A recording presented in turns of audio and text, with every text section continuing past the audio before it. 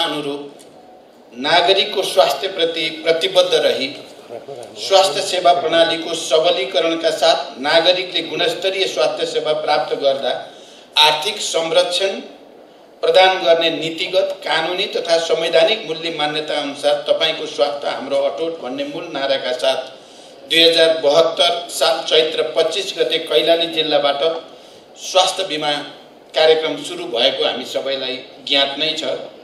आठ वर्षको छोटै अवधिमा स्वास्थ्य बिमा कार्यक्रमप्रति आम नागरिकको आकर्षण स्वास्थ्य साक्षरता र सचेतना बढ्दै गएको छ। आठौँ राष्ट्रिय स्वास्थ्य बिमा दिवसको यस महत्त्वपूर्ण अवसरमा म सबै स्वास्थ्य कर्मी एवं आम जनसमुदायमा हार्दिक बधाईका साथ स्वास्थ्य बिमाको प्रभावकारी कार्यान्वयनका निम्ति पनि म शुभकामना व्यक्त गर्न चाहन्छु। नागरिकलाई राज्यबाट आधारभूत स्वास्थ्य सेवा निशुल्क प्रदान गर्ने हाम्रो संवैधानिक व्यवस्था पनि छ त्यो प्रक्रिया अगाडि बढेको पनि छ।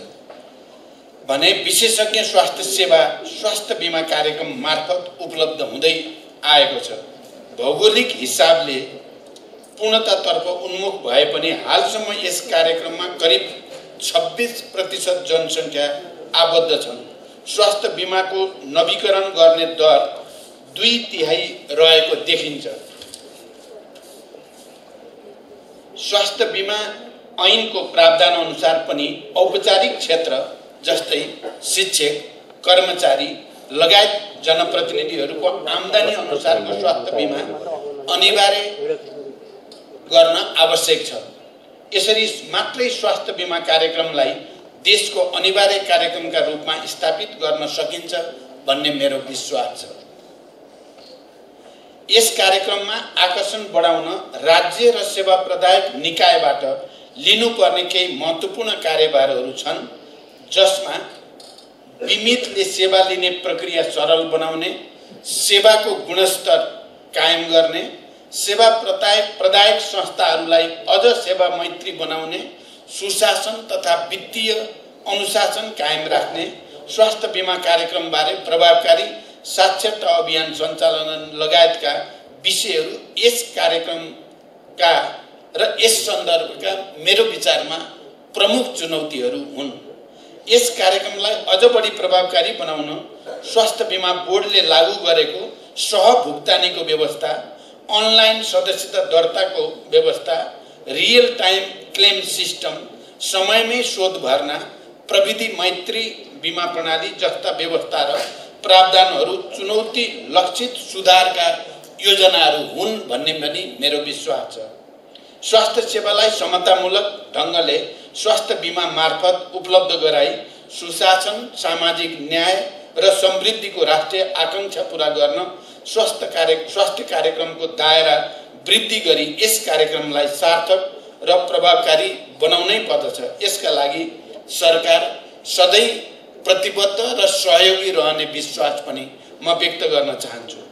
यस सन्दर्भमा नेपाल सरकारले उच्च प्राथमिकतामा राखी सबै स्वास्थ्य सुरक्षाका कार्यक्रमहरूलाई एकद्वार प्रणालीबाट सञ्चालन गर्ने सङ्घीय सरकार प्रदेश सरकार र स्थानीय सरकारबाट प्रदान गरिने सेवा तथा सिफारिसहरूमा स्वास्थ्य बिमा कार्ड अनिवार्य गर्ने जस्ता महत्त्वपूर्ण नीतिगत सुधारहरूका लागि गृह कार्य भइरहेकोले निकट भविष्यमै यस कार्यक्रमको मात्रा र गुणमा विकास हुने अपेक्षा पनि गरिएको छ।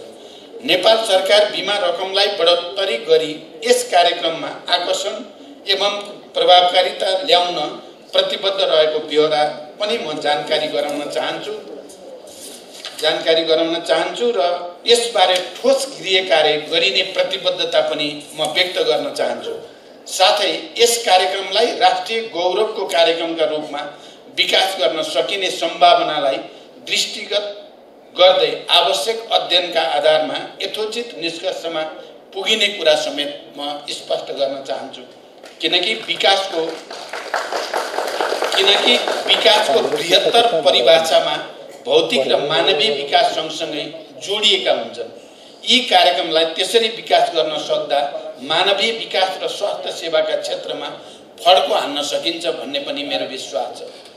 विक्रम सम्मत दुई हजार नब्बेसम्ममा सबै नेपाली नागरिकलाई सहभागी गराउने उद्देश्यका साथ स्वास्थ्य बिमा कार्यक्रमको प्रचार प्रवर्धन र विकासका निम्ति सरकारको तर्फबाट आवश्यक पहल लिने विश्वास पनि म यहाँहरूलाई दिलाउन चाहन्छु।